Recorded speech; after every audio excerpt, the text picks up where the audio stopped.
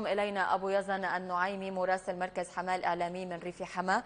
وأيضا معنا ببرس التلاوي الناشط الإعلامي من حمص. أهلا بكما وأبدأ معك أبو يزن. وبداية نريد تفاصيل أكثر حول سيطرة الثوار على حاجز السنيدة على طريق السلمية حمص. لك وللساده المشاهدين. نعم تمكن مقاتلو جبهة النصره والعديد من فصائل الجيش الحر المتواجده في الشمالي من تحرير منطقة سنيده التي تقع على طريق حمص السلميه. طبعا الأهمية الاستراتيجية لهذا لهذه البلدة أو المنطقة كونها تقع على طريق الاستراتيجي حمص سلميه الذي يعد طريق الإمداد من سلميه أو إلى حمص أو إلى دمشق فهو متنفس النظام الوحيد آه، باتجاه مناطق ريف حماة الشرقي الذي تشهد اشتباكات آه، دورية طبعا ما بين قوات النظام أو تنظيم الدولة أو آه، كتاب الجيش الحر مع قوات النظام. نعم أيضا هذه طب أبو يزن هل هناك أي غنائم اغتنمها الثوار أو خسائر لقوات النظام جراء هذه السيطرة؟ طبعا الغنائم كانت على عبارة عن أسلحة خفيفة ومتوسطة منها رشاشات 14 ونصف وأيضا اغتنام دبابة ومقتل أكثر من 20 عنصر لقوات النظام في هذه المعركة.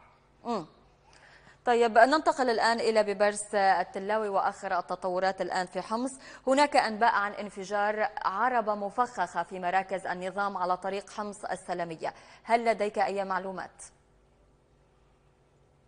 تحية لك جميع المشاهدين وضيفك الكريم. استطاع المجاهدون من تدمير هذه العربة على طريق حمص السلمية استكمالا لما تدور من معارك معارك منذ ليلة أمس بين الثوار المجاهدين مع قوات النظام. طبعا النظام خلال هذه الليلة كثف من إرسال الطيران المروحي والحربي وهم يقوم براميل متفجرة على المنطقة التي تم تحريرها بالأخص حاجز إسنيد الذي تم تحريره بالكامل وعلى أثر هذا العمل استطاع الثوار من اغتنام أسلحة وذخائر. وأيضا قتل عشرات في صفوف قوات النظام.